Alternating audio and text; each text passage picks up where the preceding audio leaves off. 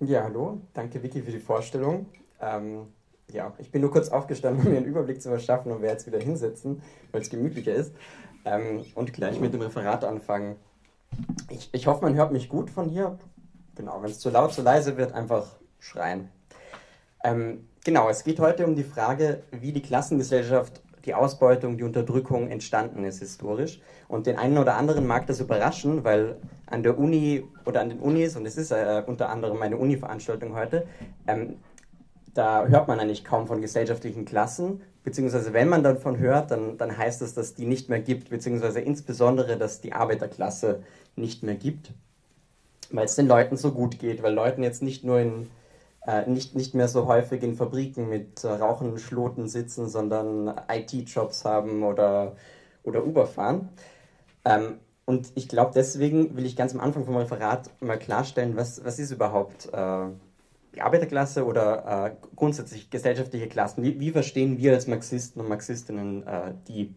Nämlich verstehen, verstehen wir sie nicht subjektiv in Form von das sind die, die sich besonders unterdrückt oder ausgebeutet fühlen.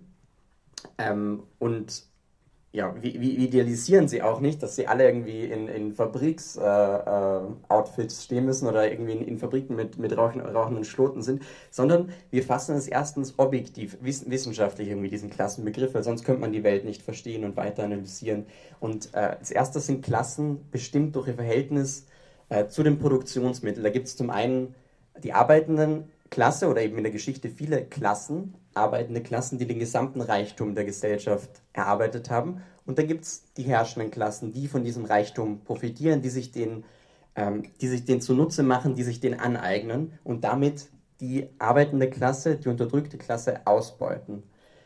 Und das ist besonders wichtig, weil alle anderen gesellschaftlichen Phänomene, äh, was, äh, was, Politik, was die Politik bestimmt, was die Kultur bestimmt, selbst was, was die vorherrschenden Ideen äh, und die Religion etc. bestimmt, ist, ist durch dieses Klassenverhältnis zentral mitbestimmt, ist durch dieses Klassenverhältnis grundgelegt. Und das werden wir auch äh, eben sehen, wenn wir uns mit, äh, mit der Frage beschäftigen, wie Klassen überhaupt erst entstanden sind und eben mit diesen Klassenverhältnissen Ausbeutung, Unterdrückung, ähm, genau, und wir werden eben weit zurückgehen in der Geschichte, aber es ist nicht einfach nur ein historisches Thema, sondern es hat eben hohe Relevanz für heute, für unser Verständnis vom Menschen und liefert eben ein tieferes Verständnis, wie Klassen zum einen entstanden sind, aber auch, was die Bedingungen sind, damit, äh, damit wir diese Klassengesellschaft wieder loswerden und loswerden können. Und wenn man die Welt verändert, verändern will, ich gehe mal davon aus, beziehungsweise ich hoffe, dass wir das alle hier wollen, dann hört man oft von den Verteidigern dieses Systems, dass Menschen sich nicht ändern werden, dass Menschen nun mal so sind, nun mal egoistisch, sexistisch sind, dass sie immer mehr wollen, dass, äh, dass sie sich immer gegenseitig ausnutzen werden. Und dieses Argument der menschlichen Natur ist, glaube ich, nach wie vor eines der, der beliebtesten der Herrschenden, um ihr System zu verteidigen. Und es ist eine der dreistesten Lügen, die sich immer noch hartnäckig halten. Denn der, Mann, der Mensch war eben nicht immer so und diese sogenannte menschliche Natur hat sich schon sehr oft in der Geschichte zusammen mit den Umständen geändert. Und die Gesellschaft, eben, wie, wie schon angesprochen, war nicht immer in Klassen aufgeteilt und diese Ausbeutung, diese Unterdrückung existierte nicht immer. Und insbesondere, wie wir auch sehen werden, die Rolle der Frau war nicht immer die, die ja jetzt von der Gesellschaft zugeschrieben wird, als nur zuständig irgendwie für den Haushalt, für die Kinder, für, für das Soziale und dem Mann unter, äh, unterstellt. Genau. Und das Beeindruckende bei der, ähm, wie soll man sagen, bei der Analyse der Entstehung der Klassengesellschaft ist nicht nur, dass diese Klassen nicht immer gab, dass diese Verhältnisse nicht irgendwie ähm, von der Natur oder von Gott irgendwie gegeben sind, sondern entstanden sind, sondern dass man sie auch eben verstehen kann, erklären kann, analysieren kann. Und als Marxisten sehen wir die Geschichte eben nicht als, als, Abfälle von, äh, als Abfolge von Zufällen, sondern sie folgen gewissen Gesetzmäßigkeiten, die wir eben verstehen können, analysieren können.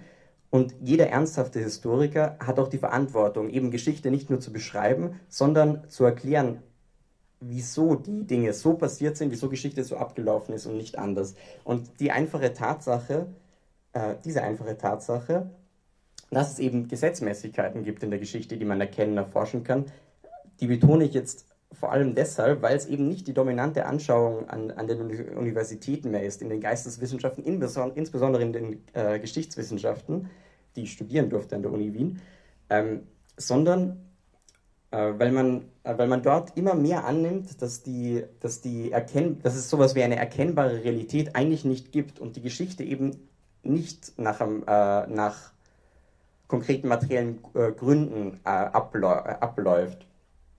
Beispielsweise, ähm, und es, es, nimmt irgendwie interessante, äh, interessante Ausformung an, weil meistens versteht man irgendwie Geschichte so, äh, Geschichtswissenschaft, insbesondere von meiner persönlichen Erfahrung, so als äh, wie, man wie man negativ an die Sachen rangeht. Beispielsweise im Geschichtsstudium, ähm, keine Ahnung, ein, eine banale Weisheit, die Habs das Habsburger Reich ist irgendwie nicht so groß und stark geworden wegen, wegen ihrer Heiratspolitik, auch wenn man das oft irgendwie glaubt und sagt. So, das, das ist irgendwie ein, äh, keine Ahnung, stimmt, weil total viele Reiche haben das gemacht.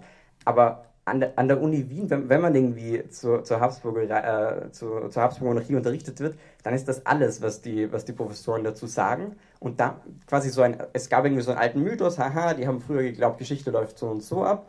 Äh, aber so ist es nicht. Punkt. Und damit endet irgendwie dort der Geschichtsunterricht, weil sie, äh, weil sie nicht weiter erklär, äh, erklären wollen und auch erklären müssen aus ihrer Sicht, wieso denn das Habsburger Reich, was die spezifischen Gründe waren, wieso es so expandiert ist und wieso es schlussendlich zusammengebrochen ist.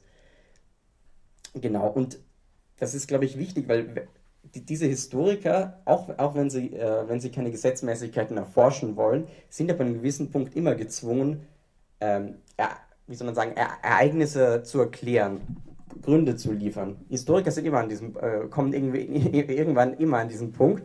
Und was, was, was, machen, äh, was machen solche Leute, die irgendwie keine, äh, keine Gesetzmäßigkeiten in, in den Geschichte sehen? Sie erklären meistens die Ereignisse durch die Macht der Ideen selbst. Beispielsweise die Französische Revolution war nicht Produkt irgendwie der materiellen Umstände, der gesellschaftlichen Klassen, die irgendwie unterschiedliche Interessen hatten, sondern äh, aus, den, aus den Ideen der Aufklärer, der, der Philosophen, die irgendwie äh, diese schönen Konzepte hatten. Und dieses Konzept nennt sich Idealismus. Und dieses, dieses idealistische Geschichtsverständnis ist nicht neu und auch in, äh, auch in der Forschung der Menschheitsgeschichte voll, ähm, oder ja, war, war zumindest lange Zeit dominant. Zum Beispiel für lange Zeit des 20. Jahrhunderts war was die dominante Vorstellung, dass der Mensch zuerst sein, sein Gehirn und damit sein Denken und seine Ideen entwickelt hätte, bevor er äh, bevor er seinen Gang, seine Anatomie äh, und äh, seine Fähigkeiten, Werkzeuge herzustellen, entwickelt hat. Also zuerst die Ideen, dann irgendwie ähm, die Entwicklung der Werkzeuge, des Körpers etc. Und es ist total interessant, weil Friedrich Engels, einer, ein Mitbegründer des Marxismus, hat schon Ende des 19. Jahrhunderts diese äh, diese idealistische Vorstellung, dass das Gehirn irgendwie auf magische Weise sich entwickelt hat und dann der, der Mensch zum Mensch geworden ist und alles andere gefolgt hat, der hat, der hat diese Vorstellung schon damals kritisiert und er hat, hat die These aufgestellt, dass genau umgekehrt ist. In einem sehr interessanten Essay, das ist nicht lang, das kann man irgendwie äh, gut, äh, gut lesen. Das heißt, äh, es hat nur einen umständlichen Titel, nämlich der Anteil der Arbeit an der Menschwerdung des Affen. Ähm, und dort stellt er eben die These auf, dass es genau umgekehrt war, dass durch die evolutionäre Entwicklung zuerst die Hände unserer äh, menschenähnlichen Vorfahren frei wurden und dadurch, dass die Hände frei wurden, wir komplexere Tätigkeiten verrichten haben können, wie eben Werkzeuge herzustellen. Und erst durch die Interaktion mit der Umwelt, durch die Herstellung von Werkzeugen, durch die Anwendung dieser Werkzeuge, ähm, erst dadurch hat sich das Gehirn entwickelt haben wir noch komplexere Ideen äh, schaffen können und im Umkehrschluss wieder komplexere Werkzeuge und äh, umso besser die Natur für uns, äh, für uns nutzen können. Und das, das Interessante ist, dass diese, keine Ahnung, oder man könnte sagen, okay, ist halt nur eine falsche, komische Vorstellung, wenn man davon ausgeht, dass die Ideen irgendwie äh, allmächtig sind und alles andere sich dem, dem unterordnet. Aber es hat extreme Relevanz für die Praxis und, und auch für die Forschung, weil dieser Ansatz, hat, äh, hat beispielsweise dazu geführt, dass Anfang des 20. Jahrhunderts, 1912, ähm, an einer Fundstelle ein Mensch entdeckt, äh, oder ein, ein Vorfahre, äh, ein, einer unserer Vorfahren scheinbar entdeckt wurde, äh, der so ein Skelett hatte, einen, einen affenähnlichen Körperbau, aber ein voll entwickeltes Hirn, was eine komplette Bestätigung irgendwie dieser, dieser idealistischen These gewesen wäre, was sich aber ein paar Jahrzehnte danach als Fälschung herausgestellt hat. Und das Interessante ist, glaube ich, nicht einfach, dass es eine Fälschung war, weil sowas passiert überraschend oft irgendwie, äh, sondern dass die ganze Menschheit, insbesondere die, die, die Forschungscommunity, in, in breiten Feldern geglaubt hatte und, und äh, vertreten hat. Einer, einer dieser, ähm, dieser Archäologen, beziehungsweise der, der aus so einer, äh, so einer Familie kommt, die das nicht geglaubt haben, der schreibt über den Vorfall folgendes. Der 1912 in einer Gießgrube in Südengland gemachte Fund passte wunderbar zu der damals vorherrschenden Vorstellung von einem menschlichen Vorfahren mit wohlentwickelten geistigen Anlagen, aber auch ein paar menschenähnlichen, äh, menschenaffenähnlichen körperlichen Zügen. Er begeisterte zugleich die britischen Vorgeschichtsforscher, da er das Scheinwerferlicht wissenschaftlichen Interesses vom Kontinent weg auf das Kernland des Empires lenkte. Der erste Mensch war offensichtlich intelligent und ein Engländer das, das beschreibt, das beschreibt glaube ich, das beschreibt, glaube ich, recht gut, wie, äh, was, was für eine Rolle irgendwie, äh, ja, Philosophie, grundsätzliche, grundsätzliche Vorstellungen von der Welt für eine Rolle spielen irgendwie für, äh, für die Forschung, dass es wichtig ist, hier äh, eine richtige, eine, eine, ähm, eine materialistische Anschauung zu haben, äh, die eben nicht den Ideen, ähm, sondern die, die, die Ideen immer aus den materiellen Umständen herleitet und äh, genau, irgendwann in den 50ern wurde es als Fälschung äh, entlarvt und in den 70ern wurde dann, äh, wurde dann Lucy gefunden, benannt nach dem Beatles-Song Lucy in the Sky, äh, die, die diese These von Engels irgendwie Jahrzehnte danach irgendwie bestätigt, was, äh, äh, weil es ein Fund ist von, von einem Skelett mit schon fast aufrechtem Gang, aber eben noch keinem entwickelten Hirn, eine, so, so wie beim Menschen oder seinen äh, genau, in seinen frühen Entwicklungsphasen. Und ähm, genau. Und diese, ähm, diese, diese materialistische Geschichtsanschauung ist wirklich wichtig, sich, sich die zu eigen, eigen zu machen, weil man damit Geschichte wirklich äh, ja, nicht, nicht nur beschreiben, sondern wirklich gut verstehen kann. Und ein zentrale oder die zentrale These der, der marxistischen Geschichtsauffassung ist, dass, äh, dass die ökonomischen Verhältnisse schlussendlich das gesellschaftliche Leben bestimmen. Was heißt das genau? Das heißt, dass die Art und Weise, wie wir Lebensmittel produzieren, einfach die, das zu essen, zu wohnen, zu trinken etc., wie wir das alles produzieren, dass das schlussendlich die Grundlage des gesellschaftlichen Lebens äh, darstellt. So.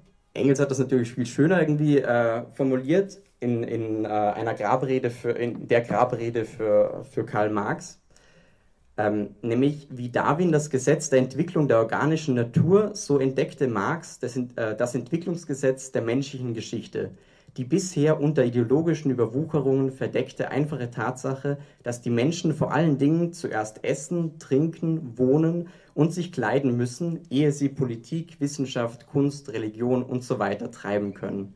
Dass also die Produktion der unmittelbaren materiellen Lebensmittel und damit die jedesmalige ökonomische Entwicklungsstufe eines Volkes oder eines Zeitabschnitts die Grundlage bildet, aus der sich die Staatseinrichtung, die Rechtsanschauung, die Kunst, selbst die religiösen Vorstellungen der betreffenden Menschen entwickelt haben. Und dies findet eben auch, insbesondere wenn man so über die Urgesellschaft redet und die, die Entwicklung der, der Menschheit, äh, findet seine Bestätigung dort in der Forschung. Denn jede, jede neue Anwendung von, von gewissen Werkzeugen und gewissen, äh, gewissen Stoffen und Ressourcen haben gleichzeitig neue Perioden von gesellschaftlichem Leben, äh, von neuen Vorstellungen, äh, ähm, von Religion, von Kultur etc. entwickeln lassen. Und auch in der, äh, in der Forschung sieht man das ganz gut, weil die Einteilung von diesen ganzen Perioden sind meistens nach den Werkzeugen oder eigentlich besser den, besser den Stoffen benannt, aus denen die Werkzeuge kommen. Steinzeit, Bronzezeit, Eisenzeit etc. Und Genau, das sollte man sich alles im Hinterkopf behalten, wenn wir jetzt so die Menschheitsgeschichte durchgehen, beziehungsweise die, äh, die Entstehung der Klassengesellschaft. Und die meiste Zeit ähm, lebte der Mensch eben in der, in der Urgesellschaft. In, also das ist sein früheste, frühestes Entwicklungsstadium. Und zwar meistens in, in kleinen Gruppen von ein paar Dutzende, maximal so 100, 150 äh, Leuten. Und sie lebten als, äh, als Nomaden, zogen also umher und äh, ernährten sich vor allem durch Jagd, durch Fischfang und durch das Sammeln von, von Früchten und Pilzen. Und eben alle, alle Menschen lebten damals in solchen Gesellschaften. Äh, bis, äh, bis in die, soll man sagen, bis vor 10.000 bis, bis 12.000 Jahre eine Entwicklung einsetzt, die eben diese Gesellschaft äh, zerrüttete und, äh, und veränderte. Doch Jetzt will ich ein bisschen darauf eingehen, was, was solche Urgesellschaften eigentlich ausmachte, in der der Mensch die, die meiste Zeit irgendwie gelebt hatte. Es waren Gesellschaften, die eigentlich keine gesellschaftliche Ungleichheit oder Benachteiligung von irgendjemandem kannten. Es gab keine Unterschiede aufgrund des sozialen Status oder, oder, oder sonst etwas in der Gesellschaft. Und aus dem Grund nannte Engels diese Gesellschaften auch Urkommunismus natürlich kann man irgendwie schwierig sagen, wie im Detail dieses äh, das Leben in so Urgesellschaften ausgeschaut hat, aber es gibt einige, äh, einige Möglichkeiten, um, äh, um so Schlüsse zu ziehen, wie, wie es wohl aus, äh, ausgesehen haben mag. Beispielsweise gibt es einige äh, Studien von, von solchen Jäger- und Sammlergesellschaften, ähm, die, die teilweise bis heute oder zumindest bis in die 70er, 80er existiert haben, die man untersuchen hat können. Äh, unter anderem eben der Stamm der Kung San, in der Kalahari, das ist so im Süden von Afrika. Und äh, eine, eine Beobachtung äh, von diesem Stamm lautet, die Kung haben keine Häuptlinge und keine Anführer. Niemand erteilt oder befolgt Befehle. Mit anderen Teilen ist im Verhalten und in den Wertvorstellungen der Kung-Wildbeuter tief verwurzelt. Geradezu wie Gewinn- und Zweckmäßigkeitsdenken im Mittelpunkt kapitalistischer Moral stehen, so steht das Teilen mit anderen im Mittelpunkt der Wildbeutergesellschaften. Und diese Gesellschaften waren, also das, das waren irgendwie gute, erfolgreiche ähm, Jäger und Sammler. Und die, sagen, die, die sammelten und jagten halt genau das, was sie auch zum, äh, zum Überleben brauchten. Das heißt, sie produzierten keinen nennenswerten Überschuss äh, darüber hinaus. Und daraus resultiert schlussendlich eben auch dieses penibel genau darauf achten, dass alles gut geteilt wird was, was man bei, also was man nicht nur bei diesem Kung-Stamm, sondern bei allen diesen Urgesellschaften findet. Beispielsweise bei den Aborigines, äh, Aborigines in Australien. Und diese, ähm, diese Teilungen gehen, also die sind wirklich teilweise mega penibel genau. Äh, bei, bei, diesem, bei diesem Kung-Stamm wird teilweise berichtet, dass man so einen großen, äh, äh, keine Ahnung, irgendwie einen Elefanten, irgendwie ein Riesentier irgendwie heimbringt und dann gibt es irgendwie über 60, 70 ähm, ähm, so, so Rechnungen, wie was geteilt wird und an welchen Verwandtschafts an welchen Verwandtschaftsgrad äh, welcher Teil irgendwie des Elefanten, äh, des Elefanten irgendwie geht. Und der Grund dafür, der Grund dafür, dass es so auf Solidarität, auf Teilen etc. aufbaut, ist eben, dass es dort kein, kein Privateigentum gab. Es gab eben niemand, der irgendwas horten durfte oder konnte, der sich irgendwie mehr nehmen hat können, sonst wären schlussendlich einfach alle ausgestorben. Deswegen war diese Gesellschaft so auf Teilen und Zusammenarbeit und Solidarität angewiesen. Und das geht wirklich tief in, äh, in die Rituale und, und Bräuche über von, äh, von den Menschen, die damals gelebt haben. Es, wird, es gibt ein anderer schöner Bericht irgendwie diese, dieses Stammes, wo ähm, wird eigentlich berichtet, wie, wie der Stamm immer äh, mit erfolgreichen Jägern umgeht. Wenn sie heimkommen und richtig, richtig viel mitgebracht haben, äh, so, ein, äh, so ein fetter, guter Haxen, äh, dann, dann müssen sie irgendwie ins Lager kommen, müssen sich irgendwie ins Eck setzen, total traurig gucken und dann erst nach ein paar Stunden darf man ihn ansprechen und fragt ihn so, hey, ja, und hast du, warst du heute erfolgreich beim Jagen? Und er muss die ganze Zeit seinen Erfolg runterspielen. Ne? Er muss sagen, ja, vielleicht ein paar kleine, ein paar kleine Tiere gesehen, ja, es ging nicht so gut und äh, und das, das Spiel geht irgendwie, äh, das geht irgendwie mehr, mehrere solche Phasen lang, bis schlussendlich halt alle lachen und so in Ekleist, also was total übergroßes gefangen, äh, gefangen hat.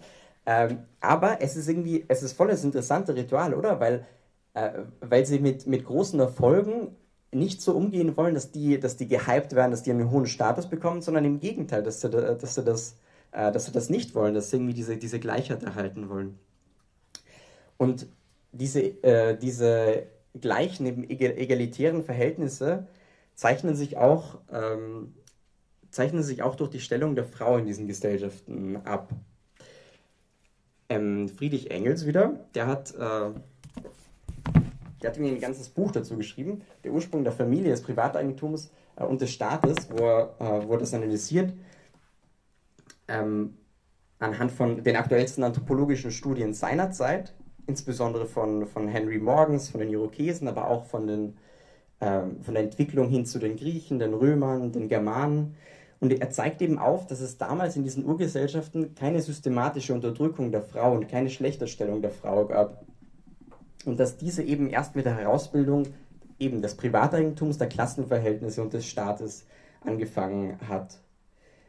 Und bis heute bietet eigentlich diese Untersuchung, diese Erkenntnis äh, einfach eine Inspiration für die gesamte Bewegung, für die gesamte Arbeiter- und Frauenbewegung, äh, dass, weil eben Frauenunterdrückung mit der Klassengesellschaft, mit der Klassenausbeutung entstanden ist, eben mit der Beendigung äh, derer wieder abgeschafft werden kann, beziehungsweise die Basis dafür gelegt werden kann. Und bürgerliche Feministinnen können das heute irgendwie Engels noch nicht verzeihen und produzieren jedes Mal irgendwie Artikel, Untersuchungen, um, um zu erklären, wie veraltet diese Erkenntnis sei und dass die, dass die Frau auch schon in der Urgesellschaft äh, eine schlechte Stellung gehabt hätte. Ein, einer von diesen äh, Theoretikern aus Paris beispielsweise schreibt, das männliche Monopol auf Jagd und den Besitz von Waffen versetzte Männer im Vergleich zu Frauen überall in eine Position der Stärke was bedeutet, dass Frauen überall in eine Situation gebracht wurden, wo sie auf die Rolle reiner Instrumente in den Strategien der Männer reduziert werden konnte. Und was, was diese Wissenschaftler machen, ist halt, Wissenschaftler, keine Ahnung, äh, ist, ist irgendwie eins zu eins die Vorstellung der heutigen Gesellschaft äh, zu nehmen, die, die wir haben und auf die, äh, auf die Urgesellschaft zu übertragen. Und dazu muss man sagen, erstens, es ist, äh, es ist einfach keine bestätigte Annahme, dass, dass Frauen äh, grundsätzlich nur fürs Sammeln zuständig waren und Männer nur fürs Jagen. Es, es, gab, es gibt viele Berichte und es, äh, Ahnung, es, es, sind auch immer wieder neue Untersuchungen, äh, wie aus den Gesellschaften der, der Anden in, in, Südamerika oder von den Philippinen, dass Frauen tatsächlich, und zwar in überwiegendem Teil bei, bei Jagden teilgenommen haben.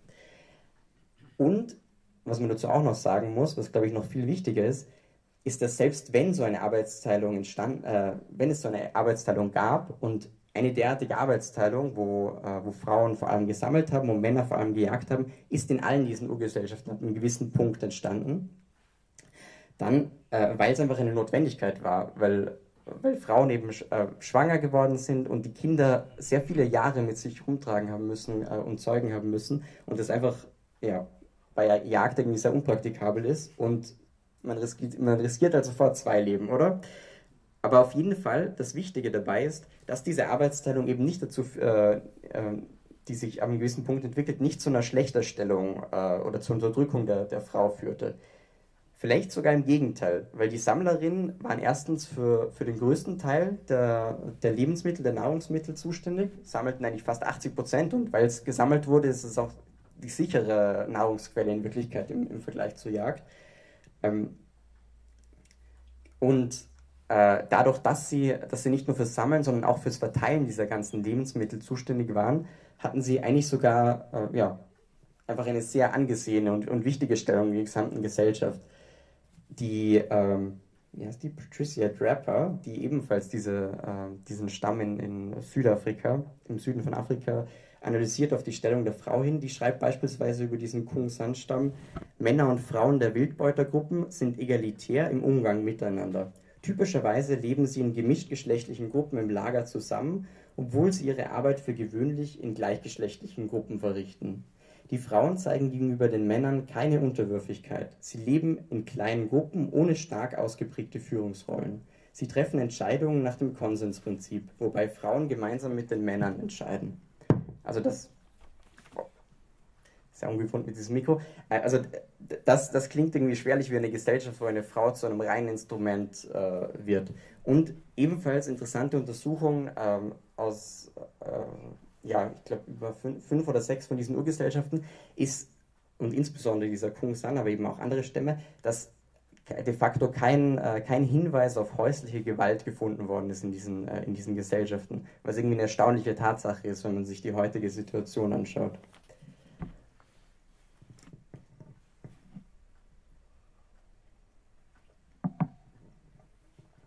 Und eben diese Urgesellschaften, ich, ich wollte es irgendwie ausführlich darstellen, weil es, glaube ich, wirklich wichtig, Äh, wie, wie, man gesehen hat, sind diese Urgesellschaften eben kein unzivilisierter Haufen, ähm, wie, wie es oft dargestellt wird, vor allem von der britischen äh, Philosophie, von, von Leuten wie Hobbes. Aber es, es ist auch kein, also man soll es auch nicht idealisieren, es ist auch kein paradiesischer Urzustand gewesen. Es haben halt Leute zusammengelebt, haben, äh, haben Sachen geteilt in Solidarität.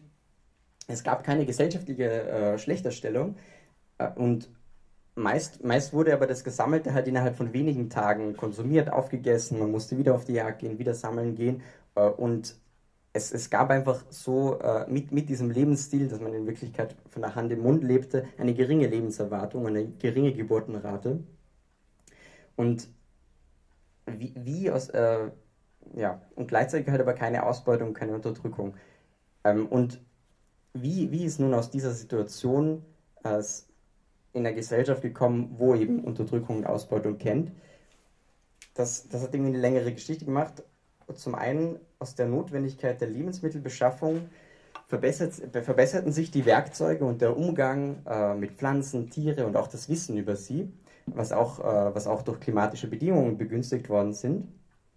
Und die, Werk die Werkzeuge verfeinerten sich. Man hat beispielsweise aus, aus kleinen Knochen, die man angespitzt hat, äh, eine Nadel geformt. Mit diesen hat man irgendwie seine Pelze besser ähm, besser stopfen können, besser nähen, äh, nähen und flicken können, womit, womit, der Mensch irgendwie sich weiter ausdehnen hat können oder in, in kältere, kältere, Gebiete ansiedeln hat können.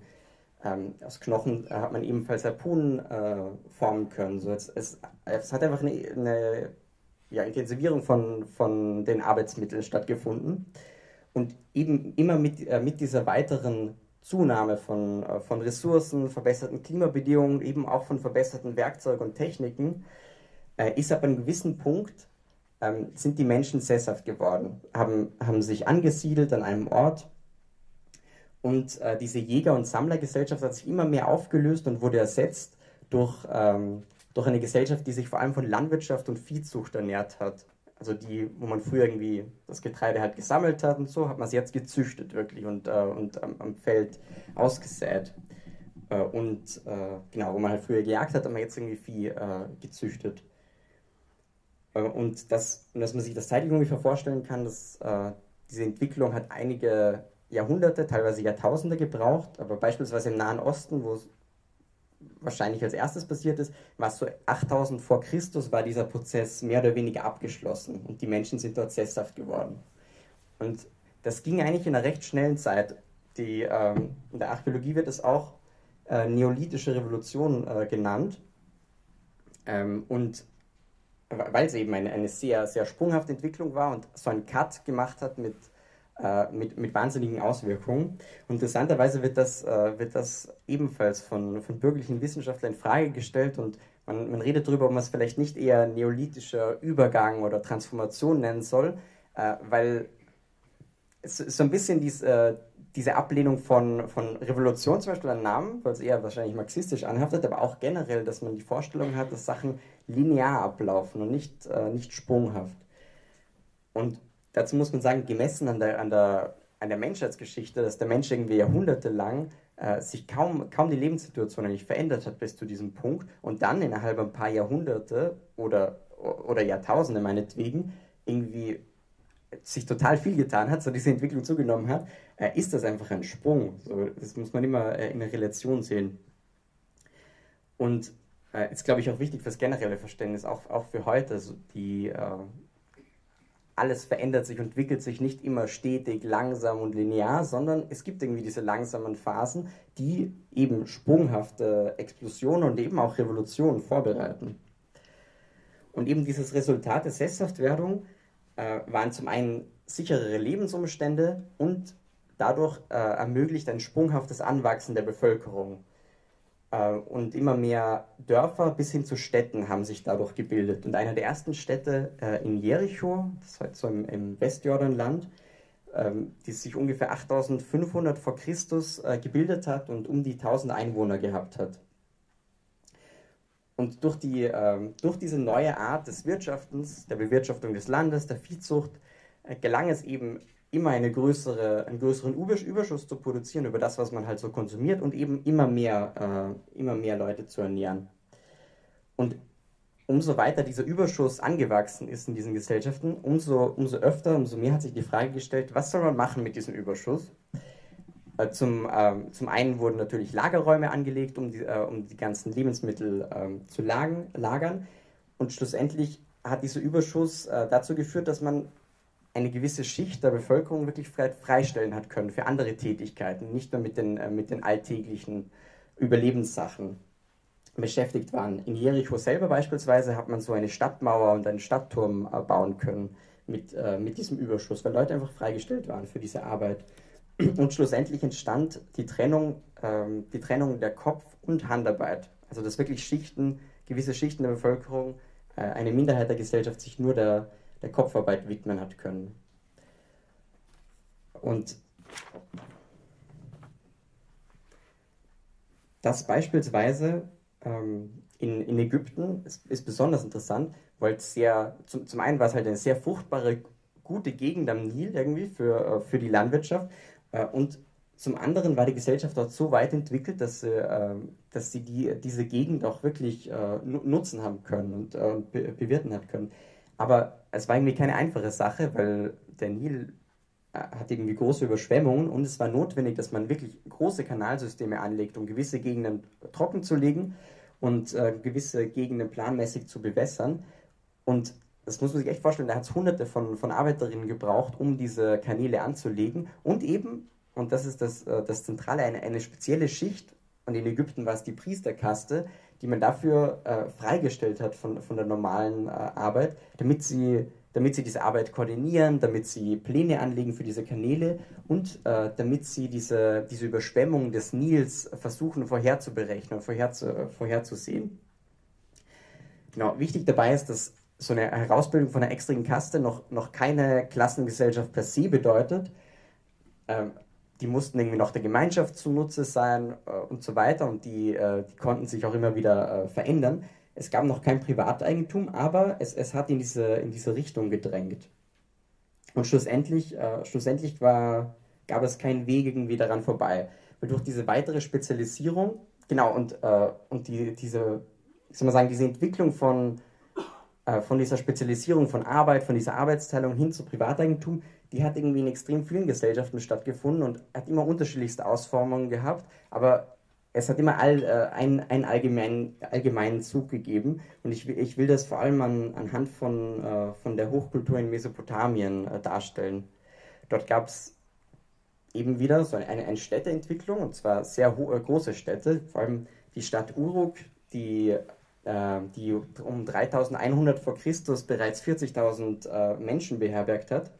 Und da entwickelt sich eben ein, eine massive also bei so vielen Leuten, da entwickelt sich eine massive Spezialisierung von, äh, von Arbeit mit diesem großen Überschuss. Und gerade in der Stadt selber eben ein eigenes Handwerk, äh, eine, eine, eine, eine, eigene Handwerksschicht, ähm, die, eben, ja, die eben sich wahnsinnig spezialisieren hat können und eben diese, äh, diese Priesterkaste, äh, die eine spezielle Rolle gespielt hat.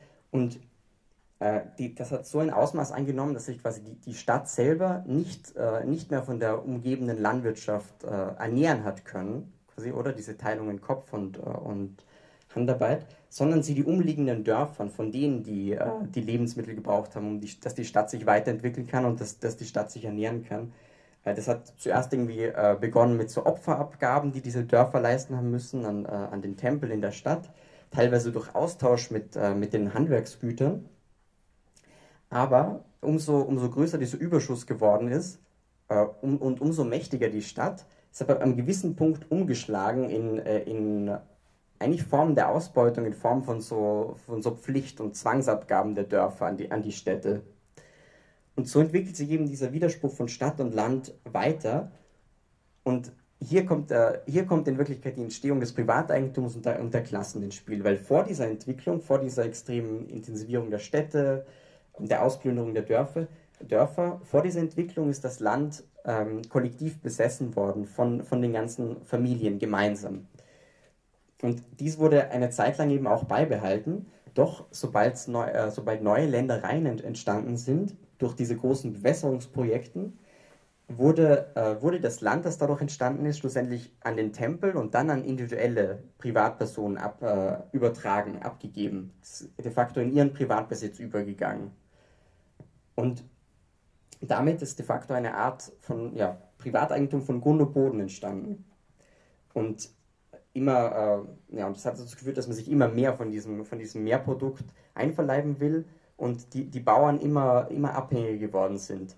Äh, schlussendlich nicht nur Zwangsabgaben leisten haben müssen, sondern auch Zwangsarbeit. Mehr oder weniger ein bisschen ähnlich wie im Mittelalter, so Fronarbeit auf den, auf den Ländereien des, des Tempels. Und ähm, dann das, äh, das Wichtige auch, gerade was die, was die Stellung und die Rolle der Frau angeht, hier, hier äh, kommt es ins Spiel, dass diese Arbeitsteilung zwischen Männern und Frauen davor äh, sich schon in die Jäger, äh, Jäger- und Sammlergesellschaft entwickelt hat und sich daraus äh, eben die Situation entwickelt hat, dass Frauen mehr für, ähm, mehr für die Arbeit im, im Haushalt und auf der, in der Landwirtschaft äh, tätig waren und Männer mehr in der Viehzucht und eben hier im, Handwerk in den Städten und auch Teil dieser Priesterkaste waren.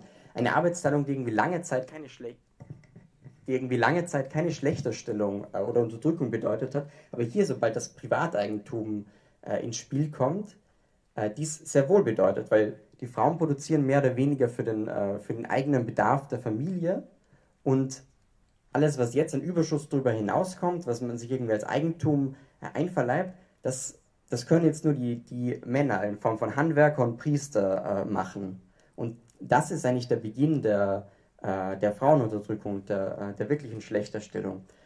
Und nun, weil, und selbst die Kontrolle über, über die Sexualität der Frau, weil nun stellt sich der Mann, äh, der, der irgendwie ein Eigentum hat, der irgendwie, diese, der irgendwie diese Mehr, äh, dieses Mehrprodukt äh, in seinem Besitz hat, stellt sich nur die konkrete Frage, wie kann ich das an, meinen, an meine Nachkommen vererben? Weil zuvor sind die Vererbungslinien immer durch die Frau gegangen, weil man kann halt total leicht irgendwie äh, in, auch in der Urgesellschaft herausfinden, äh, wessen ja, wessen Mutter hat, hat ein Kind. Aber beim Mann, insbesondere wenn's, äh, wenn sie keine monogame Beziehungen sind, kann man das nicht. Und das ist der Punkt. Äh, der, der Mann, der nur sein Eigentum vererben wollte, äh, hat äh, ja, musste, musste quasi sicher gehen, dass die Frau, ähm, dass die Frau nur mit ihm verkehrt. Dass de facto, weil davor war, war, war es eine Gesellschaft, die teilweise in, in Gruppenehen gelebt hat, teilweise in Einzelehen, die aber auch sehr leicht äh, lösbar waren, die sich sehr äh, schnell verändert haben. Ähm, jetzt de facto irgendwie dieses, äh, dieses neue äh, Eigentumsverhältnis eben auch auf die Familie und die Frau übertragen hat und äh, zur, zur mono, monogamen Ehe gezwungen worden ist. Was man dazu sagt, das bedeutet natürlich nicht monogame Ehe für den Mann, äh, weil zeitgleich zu der, zu in, in der Zeit ist ebenfalls die Prostitution entstanden, als, äh, als Teil quasi für den Mann aus der monogamen Ehe auszu, äh, auszusteigen, aber eben nicht für die Frau. Und ja, eben mit dem Aufkommen der Vererbung über diese, über diese männliche Linie und äh, der monogamen Ehe geriet eben die Frau in völlige Abhängigkeit von ihrem Mann und den männlichen Verwandten. So. Und letzter, so, letzte Entwicklung, weil das heißt der Entstehung der Familie, des Privateigentums und des Staates, zusammen mit der Entstehung, zusammen, zusammen mit der Entstehung des, äh, des Privateigentums und umso größer diese Städte geworden äh, sind und, äh, und das Eigentum, war die Frage davon, diesen Überschuss eben um zu schützen, das Eigentum irgendwie der, der neu entstandenen Klasse zu schützen, wofür man, äh, wofür man immer äh, mehr einen eigenen Militärapparat in Wirklichkeit gebraucht hat, äh, um sich von äußeren Feinden am Anfang zu schützen, aber auch immer mehr äh, von inneren Feinden. Am Anfang war, war, das, äh, war das noch geregelt durch, durch in Wirklichkeit die Bewaffnung der, des Volkes selber, was aber dann immer wieder zu Problem geworden ist für diese neu entstandene Klasse, weil das Volk dann, umso mehr es unterdrückt worden ist, irgendwann gegen, äh, gegen die äh, gegen die Herrscherin aufbegehrt hat, gegen diese Priesterkaste äh, aufbegehrt hat gegen diese neu entstandene Klasse aufbegehrt hat und sehr oft eben solche Kriege gab und um, um, umso äh, weiter sich diese Klassengesellschaft entwickelt hat, äh, umso ausdifferenzierter wurde irgendwie dieser Militärapparat, es wurden hauptberufliche Soldaten eingeführt und es entstand eben de facto ein Staat. Ein Staat als, äh, als Instrument zur Niederhaltung der, der eigenen Bevölkerung und der, der Klasse, die, die man ausbeutet. Und genau die, diese, diese Entwicklung, die ich jetzt vor allem versucht habe, von äh, Mesopotamien her zu, zu erläutern, äh, war eben in seiner, in seiner Grundlage im Allgemeinen die Entwicklung, die eben überall äh, in den verschiedensten Gesellschaften zur Entstehung der Klassengesellschaft äh, geführt hat. Und das Interessante, also das war halt voll der Umbruchpunkt. Es, es ist nicht, äh, und das, das, merkt man, oder? Es war, es war nicht rein ökonomisch äh, oder, oder politisch oder was den Staat angeht, sondern es war wirklich eine, eine grundlegende Revolution und Veränderung des Lebens an sich. Es hat, es hat die Stellung der Frau verändert, die, die Situation der Familie. Es, es hat auf alle, auf alle Lebenssituationen extreme Auswirkungen gehabt. Wahrscheinlich noch fünf Minuten.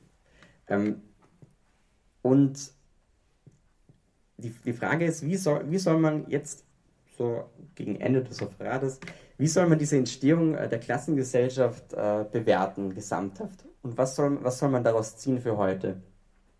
Weil mit der Entstehung von Klassen, mit der Entstehung von Frauenunterdrückung, von diesem unterdrückerischen Staatsapparat und schlussendlich eben auch mit dem Aufkommen der Sklaverei, ähm, das Ahnung, das klingt ziemlich geschissen, oder? Das bringt viele, äh, das bringt vielen zu den, äh, das bringt viele auch zu der These, dass diese Entwicklung raus aus dieser scheinbar paradiesischen Urgesellschaft rein in diese ausbeuterische Klassengesellschaft in Wirklichkeit ein Rückschritt war oder auf jeden Fall kein Fortschritt für die, für die menschliche ähm, Entwicklung.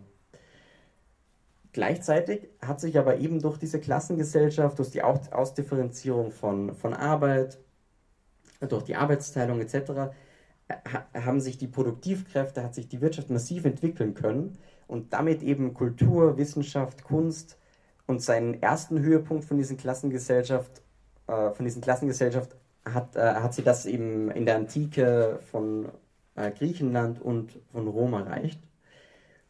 Und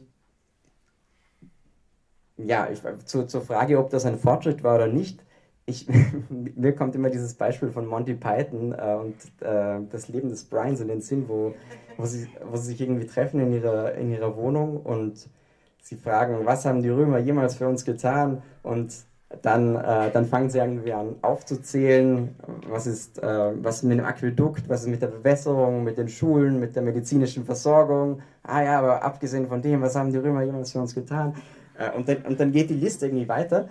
Und meine, ein lustiges Beispiel, aber äh, es steckt irgendwie viel Wahrheit darin, weil das Wichtige ist, wir als Marxistinnen verteidigen die Entstehung, also sagen, verteidigen, wir, wir sagen, dass die Entstehung der Klassengesellschaft äh, sehr wohl ein, ein, ein, Fortschritt war.